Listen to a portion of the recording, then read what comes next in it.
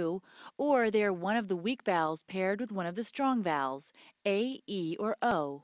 For example, let's take another look at the word patio, which is pronounced differently but means the same thing and is spelled the same way in both Spanish and English. In English, we make patio a three syllable word. Patio. In Spanish, the I and the O sort of blend together into one sound, making patio a two syllable word. Patio. Aguacate. Aguacate. Ciudad, ciudad. Okay, review time. There are 27 letters in the Spanish alphabet. 26 of them are the same as in English, and the extra one is the letter Ñ. The vowels sound like this. A is A, E is A, I is E, O is O, and U is U. And those spectacular consonant rules, you'll want to remember them. They go like this.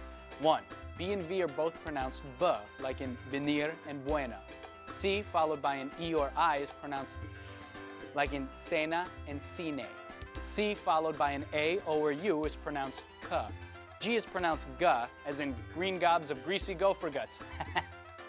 H is pronounced right, because H is silent. J is pronounced like a strong English H, like in juntos and joven. Double L is pronounced ya, like in llave. 8.